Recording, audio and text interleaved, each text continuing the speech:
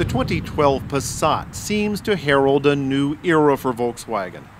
It's VW's first American made vehicle in decades and seems to mark a change in the brand's personality.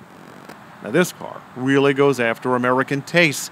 In the past, it seemed like Volkswagen was trying to convince American buyers why it was superior. This is how you move from a niche brand to a mass market brand. The Passat comes with a lot of choices in trims, including one that comes in just under $20,000. You also have this diesel version. The diesel will get you 40 miles per gallon. The other gasoline powered versions are also pretty fuel efficient, just not quite this good.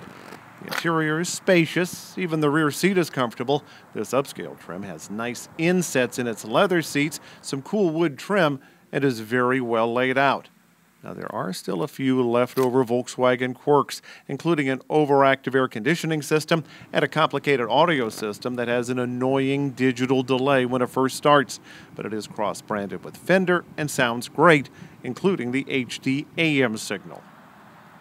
This is the first vehicle made at Volkswagen's new multi billion dollar assembly plant in Chattanooga, Tennessee, and the launch has been fairly slow because Volkswagen wants to get the quality on this vehicle just right.